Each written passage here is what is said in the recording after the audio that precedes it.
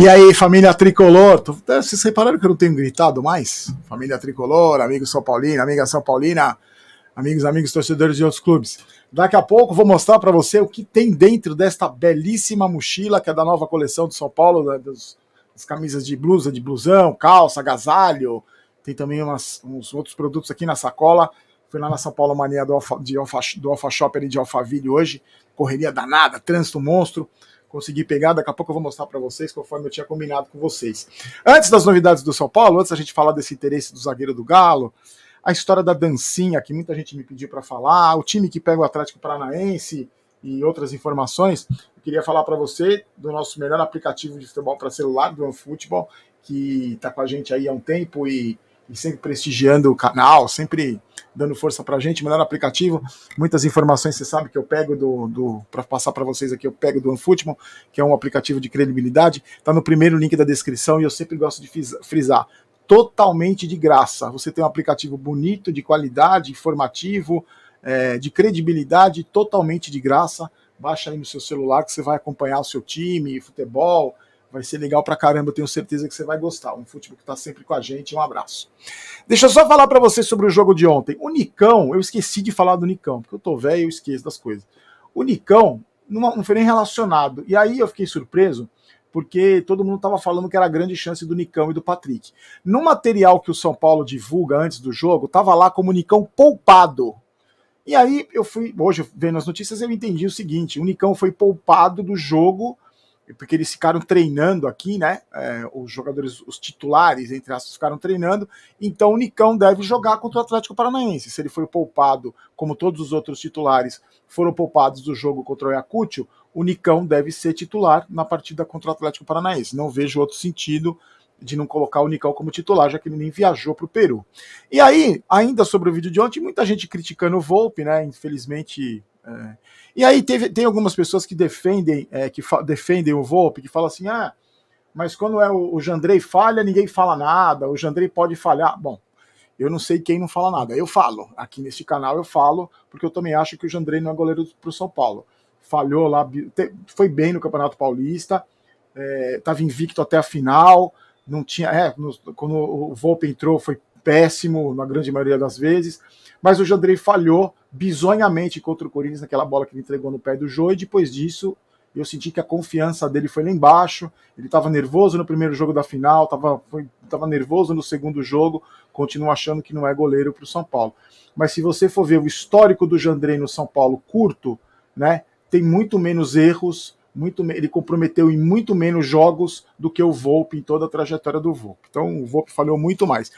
E aí, muita gente também falou, que eu, que eu também não me lembrei de falar ontem, porque estava tarde já, cheguei tarde, não consegui lembrar, a dancinha do Reinaldo com a Arboleda. Toda vez que a Arboleda fez gol, foi fazer dancinha. Toda vez que eu falo de dancinha aqui, eu falo de dancinha já, já tem uns dois anos, é, eu sou muito criticado, porque muita gente fala, ah, é ranzinza, ah, é chato, o que, que tem a ver o cara dançar, não sei o quê. Só que ontem eu vi muitos comentários falando o seguinte: tá dançando por quê? Tomou quatro tapas na cara que tá rodopiando até hoje no domingo, e ainda mais o seu Arboleda que prejudicou o time, porque não se iluda, você que chama o Arboleda de Arbolenda, você tem todo o direito, mas não se iluda, o Arboleda prejudicou o time na final, porque como ele não, não apareceu para treinar, ele ficou, ele não jogou como titular, no, ele não jogou o primeiro tempo da final. Ele poderia ter ajudado muito mais naquelas bolas aéreas no, no, primeiro tempo. O jogador mais experiente poderia ter ajudado muito mais se ele fosse mais responsável e não tivesse faltado no treino. E eu não consigo entender o que o seu Reinaldo está dançando e o que o seu Arboleda estão dançando, depois de levar um tapa na cara humilhante de 4 a 0 numa final de campeonato. Eu acho que é legal ter dancinha, não sou nada, não tenho nada contra dancinha mas desde que o time seja campeão, desde que o time seja todo ano disputando final, desde que o, que o time não, te, não seja humilhado em final de campeonato. Aí, dependendo do momento, quando tá 5 a 0 você pode fazer uma dancinha aí. Eu acho ridículo, mas você pode fazer sua dancinha. Quando você é humilhado numa final de campeonato, tá ganhando no sufoco de um time praticamente amador do Peru, chamado Ayacucho, você vai fazer dancinha, para mim, desculpa, é um desrespeito com o torcedor. Sobre a coletiva do Ceni, toda em castelhano, o Luciano tá muito engraçado nessa coletiva. Eu, eu postei no vídeo da manhã a coletiva toda, o React, depois vai entrar na janelinha. Se você tiver, tiver é, que quiser ver, Tá lá, o Luciano é muito engraçado porque as perguntas eram todas feitas pro Rogério Ceni e o Luciano falava: "Eu tô só assistindo, só você fala". Não... Depois ele dá risada. O Rogério Ceni falando em castelhano, o Luciano segurando o riso. Tá muito engraçado. E aí, se você quiser, eu vou deixar na janelinha quando acabar o vídeo, tá bom? Ó, é, o São Paulo, tem muita gente que fala aí, rivais principalmente, né? Ah, a torcida modinha, ah, a torcida do São Paulo é modinha, a torcida do São Paulo só vai na boa. É, vou dar uma informação para você que pensa assim. As torcidas do São Paulo, do Corinthians e do Palmeiras foram as que mais marcaram presença nos estádios em 2022. A do São Paulo tem simplesmente só a maior média de público do Brasil, 31.542 torcedores.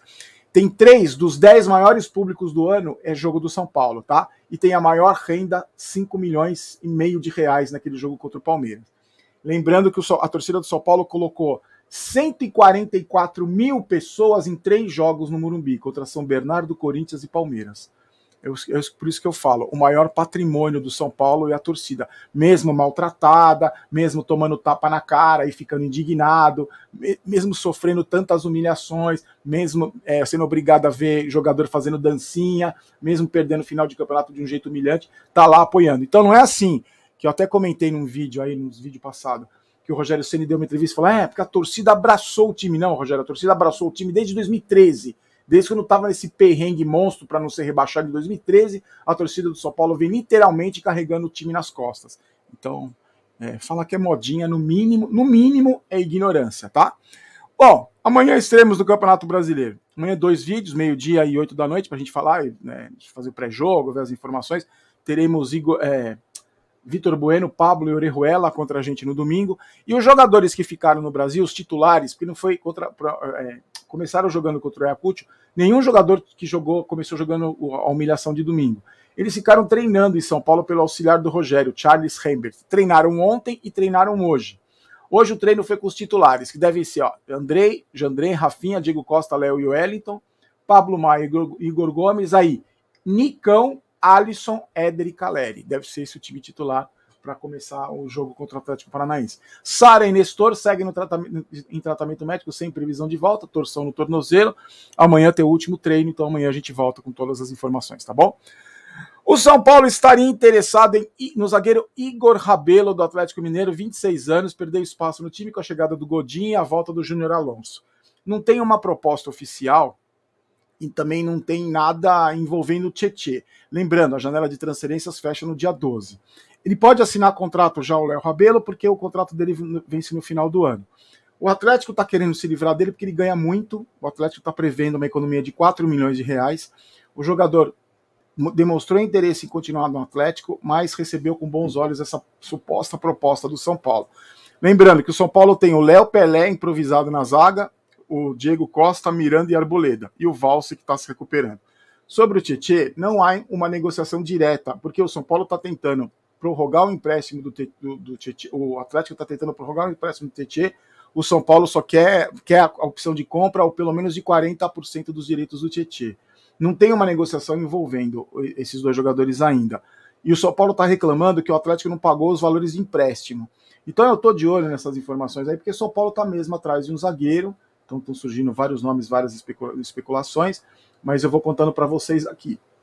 Eu continuo achando que deve envolver o Tietchan como moeda de troca, porque o técnico do Atlético está até usando o Tietchan em alguns jogos mais do que ele costumava usar, mesmo que o Tietchan tenha feito um gol só na trajetória dele no Atlético, mas o treinador do Atlético está usando o Tietchan em algumas ocasiões. Como tem vários campeonatos, o Atlético vai disputar vários campeonatos, eu acho que o São Paulo podia forçar uma barra, pra, já que não está nem recebendo dos empréstimos, para envolver o Tietchan numa negociação com o zagueiro, eu acho que poderia ser importante.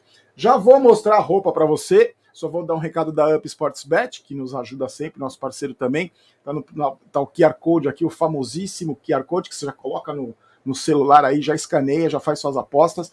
E você também pode, tá, tá no link do primeiro comentário fixado, você clica e, e, e para ativar o bônus, tá bom? Então tem sempre presentes para você aqui, dos parceiros que fazem questão de nos prestigiar e também é, participar, dando prêmios, promoções, fazendo você é, ganhar, uma, ganhar uma grana, fazendo você estar tá sempre é, participando e, e, ganhando os prêmios aqui, tá bom? Então, ó, escaneie aqui, ups, é, sports.bet, você já participa, já está concorrendo, depois você confere no primeiro comentário fixado, tá bom? Bom, ó, agora eu vou mostrar para você um esquema meio aquele jeito tosco, o que vem dentro da mochila. Hoje foi lá no na São Paulo Mania. Essa belíssima mochila, para mim, é um, um, um, mais, um dos itens mais legais dessa nova coleção do São Paulo. É essa mochila. Mochila belíssima. Eu vou mostrar para você o que tem. Tem alguns itens nela que eu peguei lá. Vou aproveitar que minha mulher está fazendo pós-graduação online. Ela não vai ver o quanto que eu gastei de coisa do São Paulo. Então, sabe que eu não sou um pau mandado, não mando absolutamente nada em casa, mas vou mostrar para vocês. Ó, eu vou tirando aqui, eu vou mostrando. Primeiro, tem um gorrinho de lã, um gorro que é bem bacana, da New Era. Se eu consigo mostrar para você direito. Bom, vamos tirar aqui, eu vou mostrando, ó. Pra mim, carequinha, né, que eu tô o cabelinho, vou mostrando assim, ó. Vai ficar daquele jeito improvisado, né, gente? Gorrinho bem bacana, que daqui a pouco vai estar tá cheio de pelo da minha cachorra que tá latindo. Com certeza vai estar tá aqui. Quente, super gostoso, gorrinho bacana, peguei. Vamos ver o que, mais tem? Tem essa sacolinha aqui, ó, que é bonita também, vinho, tudo na cor vinho, tá, gente? O destaque é na cor vinho. Aquele para você levar para academia, correr, fazer para praia, você pode usar, bonito também, achei muito bonita a cor. E aí agora vem as duas peças, que é a calça e a camisa. Primeiro acho que eu vou mostrar a calça para você que vem primeiro aqui, ó. Essa calça é, é, a calça. A calça é um modelo também tudo vinho. A calça é um modelo mais justo, ó. Tem aqui o símbolo, aí aqui, ó, o símbolo da Adidas, uns detalhes aqui, tá vendo? A calça é um modelo mais justo do que no, essas calças de agasalho, né? Não é uma calça de moletom, uma calça de agasalho.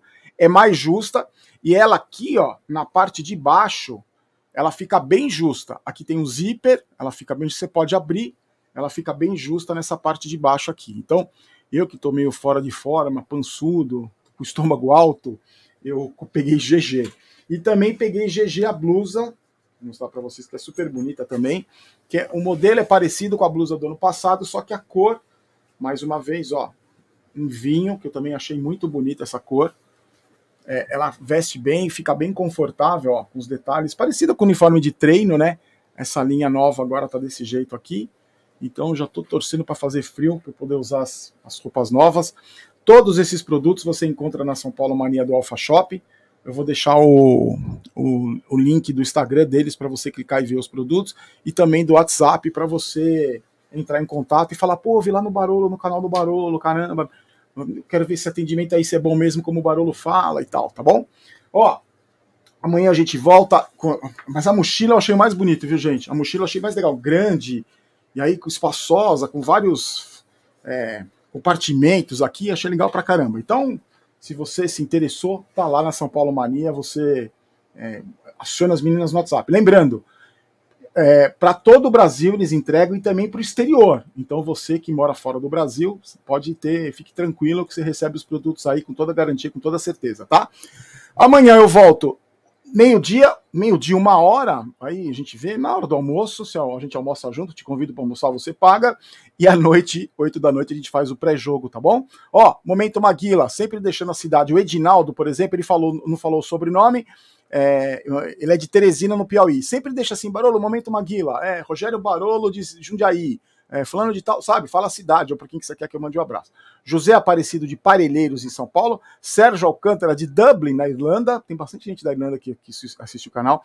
E para o Samuel Pereira, do Jardim Peri, em São Paulo. O vídeo ficou grande? Não, até que não, né?